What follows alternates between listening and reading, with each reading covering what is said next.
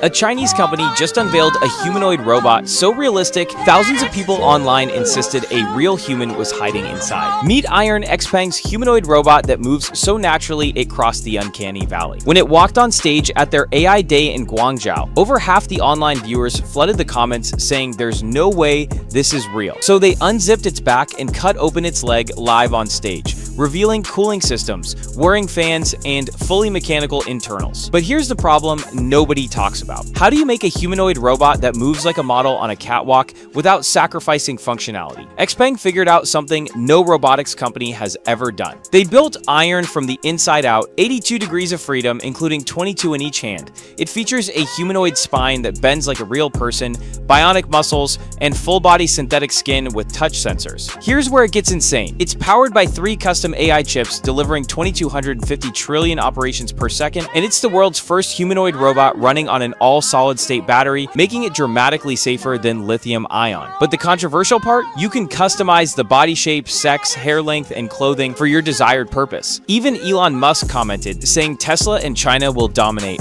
Xpeng plans mass production by late 2026, and when Iron hits the market, the line between human and machine will get a whole lot thinner.